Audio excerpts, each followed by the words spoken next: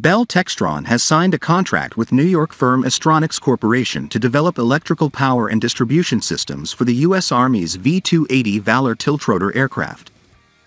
The V-280 platform is being developed as part of the future long-range assault aircraft, an advanced helicopter that will eventually replace the Army's UH-60 Black Hawk medium-lift utility rotorcraft fleet. Bell won the $1.3 billion competition to provide a new aircraft for the program in December 2022. Under the agreement, Astronics will leverage its CorePower family of solutions to equip the aircraft with enhanced power conversion technology and a solid-state electronic circuit breaker. Through CorePower, the tiltrotor helicopter will maintain clean and efficient power capability throughout Army operations.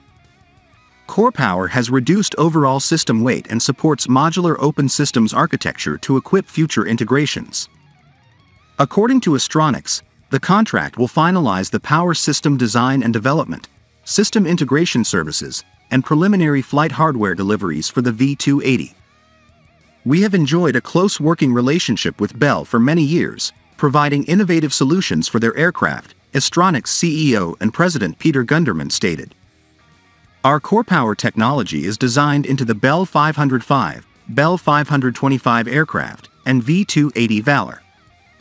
We congratulate Bell on their selection for this program and are honored to work with them to help deliver the V-280 weapon system to the U.S. Army.